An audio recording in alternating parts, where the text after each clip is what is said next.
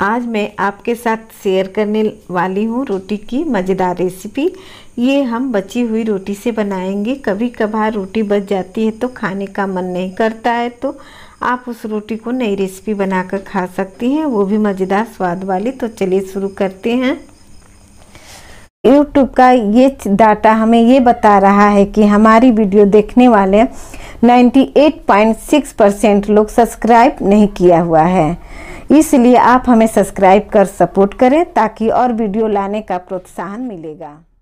हमने बड़े बड़े आलू के छोटे छोटे क्यूब में काट लिए हैं। इसको अच्छी तरह से वॉश करके रख लिए हैं। तो चलिए अब हम पैन की तरफ़ चलते हैं। एक पैन में एक चम्मच ऑयल लेंगे। उसमें जीरा को चटकाएँगे। जीरा चटक जाए तो इसमें हम आलू के कटे हुए आलू को डाल देंगे और इसको हाई फ्लेम पे तीन से चार मिनट तक भूनेंगे। ये ब्राउन क्रिप्सी हो जाए। सुनहरा होने तक हमें इसे भूनना है। तीन से चार मिनट में अच्छे से सुनहरा हो जाएगा। तो ये सुनहरा हो चुका है।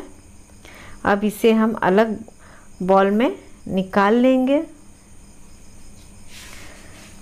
गैस को ऑफ़ कर दिया है।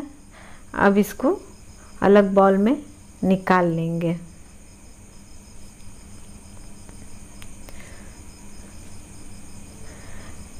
जब आलू सुनहरा हो जाता है तो इसका स्वाद बहुत अच्छा लगता है। इसमें हम स्वादानुसार नमक डालेंगे और तीखापन के लिए लाल मिर्ची पाउडर डालेंगे और इसमें एक चम्मच चाट मसाला डालेंगे। आप चाहे तो इसके जगह पर मैगी मसाला भी यूज़ कर सकती हैं। इसके बाद इसको मिला देंगे ताकि ये सब चिपक जाए और आलू जो है सुनहरा भुना है तो इसमें जो भी मसाले डालने से वो एक दूसरे से चिपक जाता है, कोट हो जाता है। तो ये बहुत अच्छा से मिल गया है। तो ये है रात की, आप चाहें तो इसके जगह पर बची हुई रोटियों को यूज़ कर सकती हैं। तो ये दो बची हुई रोटियाँ हैं, जिसको हमने यूज़ किया है। एक रोटी को हम इसमें छेद करेंगे कांटे वाली चम्मच से। आप चाहें तो चाकू की सहायता से इसको छेद कर सकती हैं। और दूसरी रोटी को छेद नहीं करना है, उसका हम एक ट्रिक बताएँगे। तो चलिए हम गैस की तरफ़ चलते हैं। हमने कढ़ाई में ऑयल डाल दिया है, और ये ज़्यादा गर्म हो चुका है। और जब तेल ज़्यादा गर्म हो जाए, तभी इसमें रोटी डाल करके इसको तलना है। दोनों तरफ़ इसे सुनहरा होने तक हम तलेंगे, ताकि ये कुरकुरा हो जाए। जब एक कुरकुरा हो जाता है तो इसको आप चाहे तो अचार, चटनी या केचप के साथ आप खा सकते हैं। और ये दूसरा रोटी है।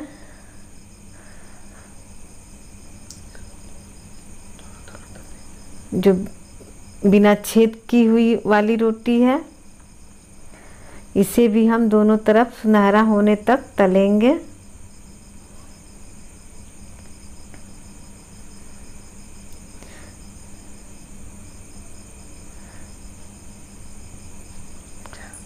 तो इसे तोड़ने पर देखिए कितना कुरकुरा है।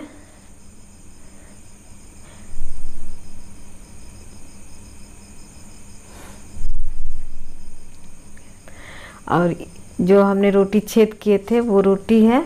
इस पर केचप हम लगा रहे हैं। आप चाहें तो पिज़्ज़ा सॉस भी लगा सकती हैं। इसके ऊपर चीज़ रख रहे हैं। आप चाहें तो मोजरीला चीज़ भी यूज़ कर सकती हैं। इसको चारों तरफ़ से छोटे छोटे टुकड़ों में रख देंगे। फिर इसके ऊपर से जो आलू हमने सुनहरा होने तक भुने थे, वो आलू को रख देंगे। इसके ऊपर प्याज भी रख देंगे। और इसके बाद से टमाटर, शिमला मिर्च और हरी मिर्च से भी इसको गार्निश कर देंगे। अगर बची हुई सब्ज़ियाँ हैं तो आप इसे भी इसमें डाल सकती हैं। इसके ऊपर से फिर एक कोट चीज़ का हम डाल देंगे। छोटे छोटे टुकड़े करके।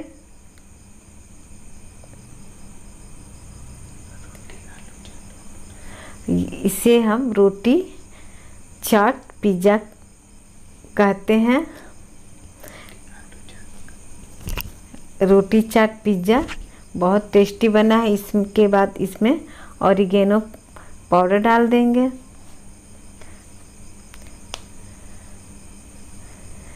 आप चाहें तो इसके ऊपर पिज़्ज़ा मसाला भी डाल सकती हैं। एक पैन को गरम कर देंगे, उसमें ये प्लेट में रख करके इसमें रख देंगे। और इसको दो से तीन मिनट बस इसको ढक करके पकाना है। देखिए, दो से तीन मिनट हो गया है। अब इसको हम इसमें से निकाल देंगे। चीज़ भी मेल्ट हो गया है। देखिए कितना अच्छा बना है। रोटी पिज़्ज़ा चाट। आप इसे बची हुई रोटियों को बना करके इसका स्वाद ले सकती हैं। तो चलिए इसे हम तोड़ते हैं।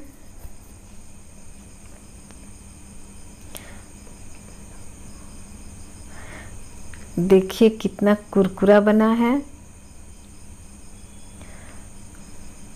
आप ज़रूर एक बार ट्राई करें।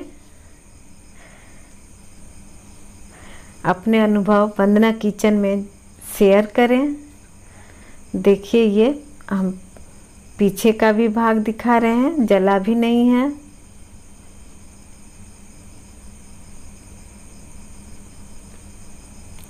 देखिए कितना अच्छा कुरकुरा, रोटी पिज़्ज़ा चाट तैयार है।